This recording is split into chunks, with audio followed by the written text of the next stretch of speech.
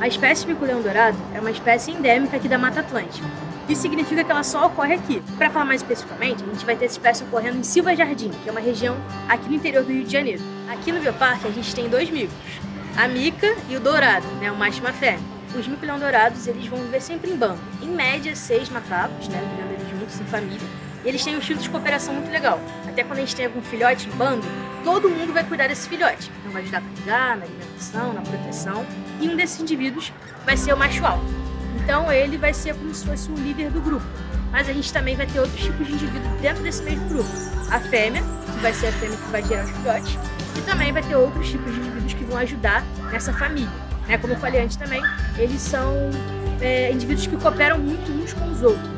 Né? Então, nas situações do dia a dia, eles vão se ajudar para manter né, essa organização funcionando bem através da liberação dos feromônios, eles conseguem entender que um está afim do outro. Então, ali na época de fertilidade, esses animais macho e fêmea vão liberar esses feromônios que vão ajudar nessa aproximação entre ambos para poder gerar uma família.